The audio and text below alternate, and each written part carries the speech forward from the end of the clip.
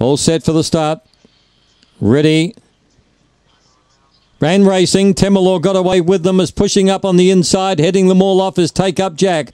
Take Up Jack, the leader. Temalor has darted through on the inside to take up the running from Take Up Jack. Out wider was Rella Allen. There followed after a gap in the field, then the Pad Thai. Well back in the field then was Uncle David and Impact Bale is back in the field. Temalor just in front goes on to win. Take Up Jack second. Third home Rella Allen. Fourth was Pad Thai. Then came Impact Bale. Further back was Delinquency.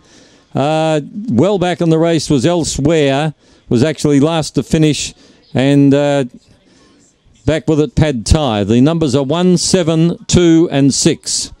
1, 7, 2, 6, 22, 12. Temalor first, Take Up Jack second, Relam Allen third, Pad Thai fourth, and fifth home was Uncle David. 996 early, 1216 coming home for 22.12. 22.12. Good time. Three quarters by two and a quarter. Second.